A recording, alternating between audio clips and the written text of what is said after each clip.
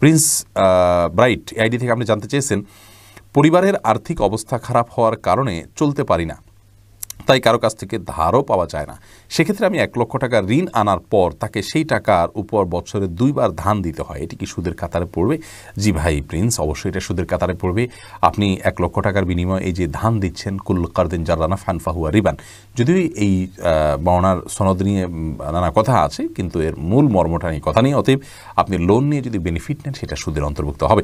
বিধায় আপনি চেষ্টা করবেন স্ট্রাগল করার। হালাল রুটি রুজির জন্য, বেঁচে থাকার জন্য একটি উপায়, উপার্জন অবলম্বন করার জন্য আলহামদুলিল্লাহ আজকের বাস্তবতায় মানুষকে আপনার মানে না খেয়ে মরে যাবে এরকম কিছু না করলে এরকম না বিষয়গুলো।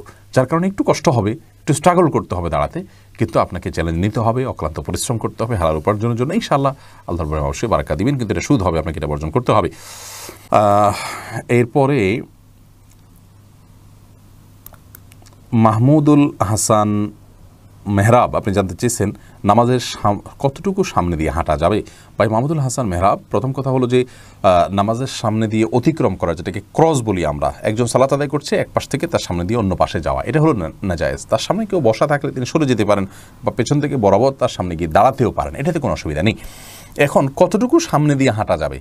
এটার ব্যাখ্যা নিয়ে ওলামা ইকরামের মতো পার্থক্য আছে, কারণ হাদিসে এটার কোনো সীমানা নির্ধারণ করে দেওয়া হয়নি। অনেক ওলামা ইকরাম বলেছেন, একজন সালাতাদাকারীর যে সিজদা পর্যন্ত যে জায়গা লাগে, এক কাতার। এর বাইরে দিয়ে সে যে কেউ যেতে পারে, কারণ এর বাইরে দিয়ে গেলে তার ডিস্টার্ব হওয়ার কথা নয়। এটা মূলত তার ডিস্টার্ব যাতে না হয়, তার সালাদের মনোযোগিতা যে নষ্ট না হয়, এই বিষয়ের জন্য এটা নিষেধ করা হয়েছে।